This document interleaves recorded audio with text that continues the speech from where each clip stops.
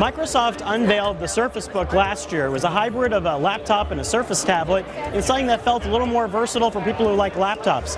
Well, the new Microsoft Surface Book with a performance base takes care of performance and battery life, some things that people complained about last year. There's a, a thicker base here that also has a 16-hour battery, and there's NVIDIA GeForce GTX 965M graphics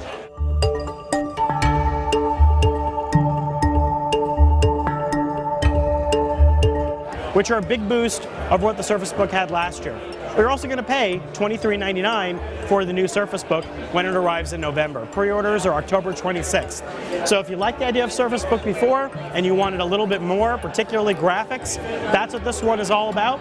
We look forward to reviewing one at CNET. I'm Scott Stein.